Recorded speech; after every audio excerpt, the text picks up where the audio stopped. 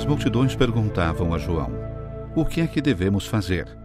Ele respondia: Quem tiver duas túnicas, dê uma a quem não tem. E quem tiver comida, faça a mesma coisa. Alguns cobradores de impostos também foram para ser batizados e perguntaram: Mestre, o que devemos fazer? João respondeu: Não cobrem nada além da taxa estabelecida. Alguns soldados também perguntaram: E nós, o que devemos fazer? Ele respondeu: Não maltratem ninguém, não façam acusações falsas e fiquem contentes com o salário de vocês. O povo estava esperando o Messias, e todos perguntavam a si mesmos se João não seria o Messias.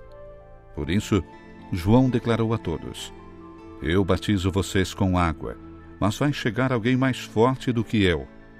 Eu não sou digno nem sequer de desamarrar a correia das sandálias dele. Ele é quem batizará vocês com o Espírito Santo e com fogo. Ele terá na mão uma pá.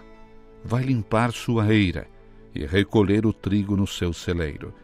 Mas a palha ele vai queimar no fogo, que não se apaga. João anunciava boa notícia ao povo de muitos outros modos.